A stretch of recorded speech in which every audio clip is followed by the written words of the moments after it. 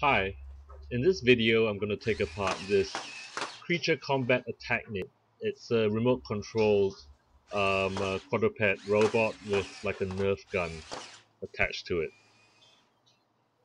I'm mainly interested to see uh, how the legs move.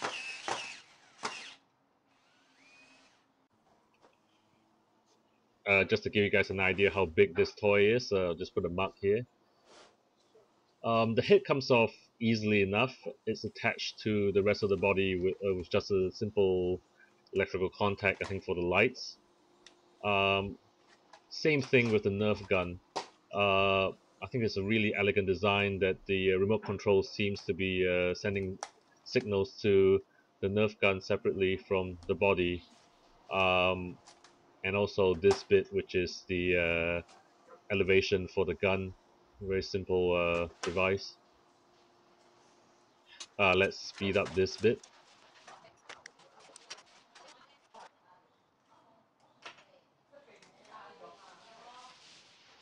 I'm gonna try to take off the legs first. Uh, appears to be uh, six uh, screws. Let's speed up this bit as well.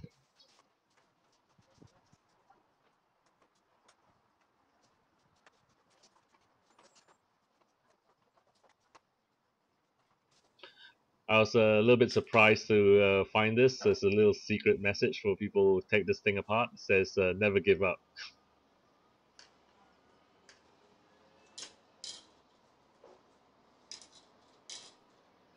Uh, there's a circlip keeping all the legs together. I'm going to just use a screwdriver to try to pry it out.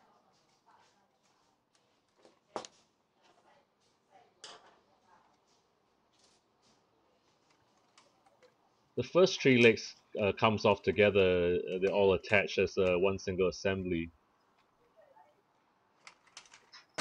The next three legs are individual legs. Um, it's uh, quite interesting that there's this arm that kind of controls uh, the whole movement of the legs. Uh, yeah, you can see how that works.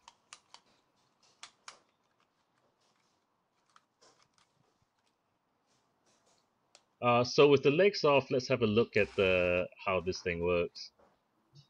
So if you if you press on the forward and backwards uh, button of the remote control, you get uh, these gears moving and, and it's controlling this uh, arm that moves up and down and uh, a little bit to the side.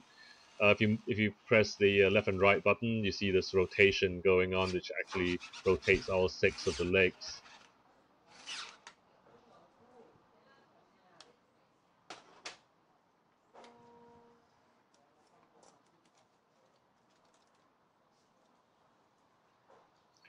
Let's take apart this bit as well as to see how it looks like on the inside. Uh, I'm going to speed this up.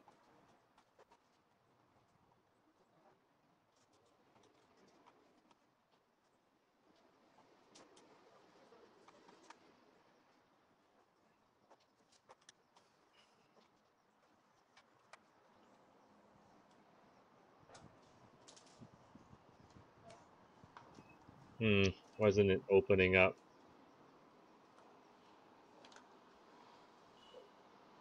Ah, okay, there's this uh, small screw here.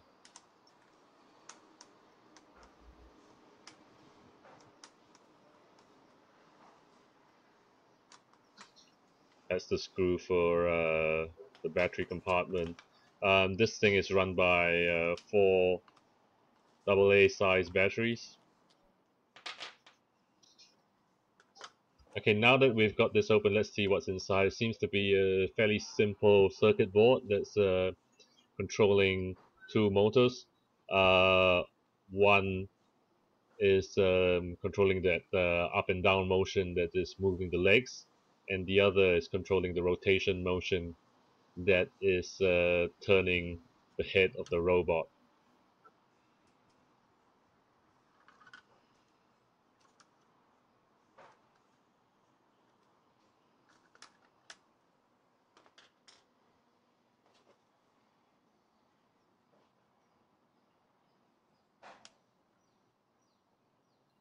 So there you have it. It's a very simple um, device, you know, two motors controlling six legs, but I think the execution uh, is uh, not so straightforward. Uh, I think they must have take, uh, done a, quite a bit of uh, experimenting to get this to work. I really like uh, this toy. I think opening it up explains why they can meet a really competitive price point. Um, yeah, it's a really fun little toy. Uh, why don't you guys uh, uh, check it out? So thanks, thanks for watching this video.